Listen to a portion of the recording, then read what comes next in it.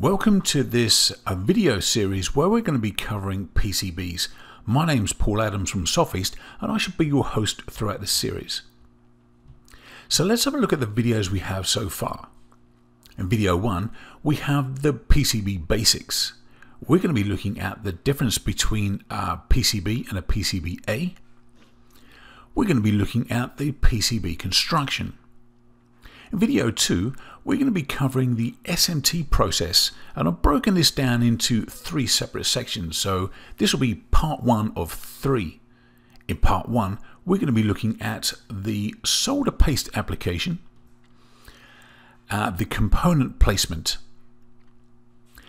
In the SMT process part 2 video, we're going to be looking at the reflow soldering process and the cleaning process or the phase.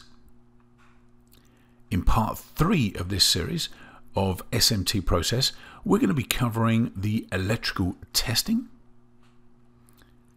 And then in video five, we're going to be covering the inspection methods and common defects.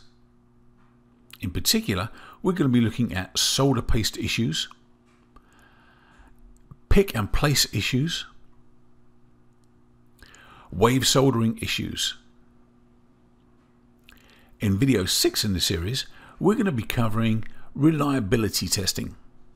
We're going to be looking specifically at reliability and durability, temperature and humidity, and vibration. We're also going to be covering mechanical shock and HALT and HASS testing. So Sofeast are here to assist you.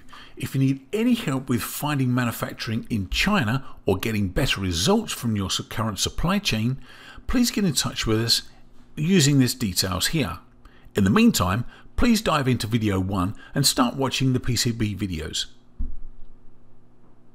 So once again, my name is Paul Adams from Sofeast and I shall see you in video 1.